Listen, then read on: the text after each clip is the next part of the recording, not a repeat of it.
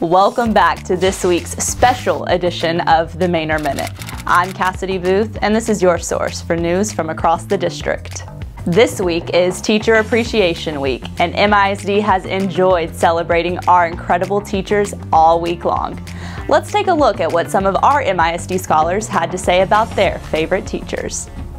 Happy Teacher Appreciation Week. This is absolutely amazing. I have a very interesting book here. What can't teachers do? Teachers can do everything.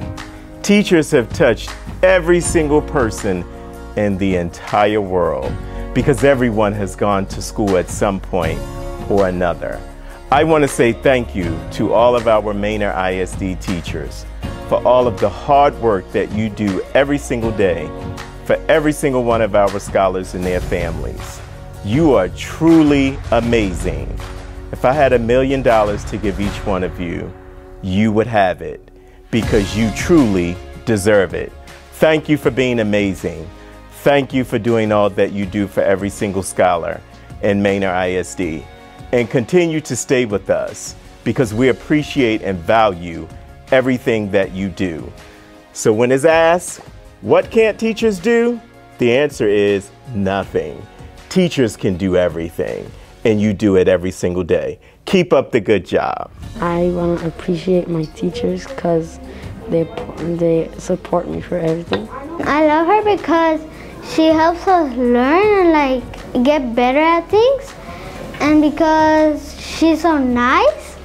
She always makes sure that I'm um, on task and always make sure that I'm doing work and always make sure I'm passing all my all my uh, classes.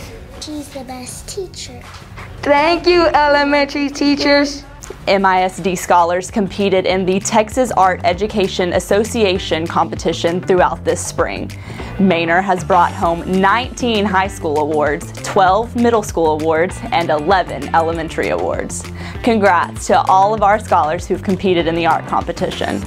Manor Senior High 11th grader Camilla Conelli competed in the JV Girls Single District Tennis Tournament on April 22nd, and she secured the championship spot. Way to go, Camilla. You don't want to miss the Manor High Stepper Spring Show this Saturday, May 8th at the Manor Athletic Complex. Head over to manorisd.net slash highsteppers to purchase your ticket.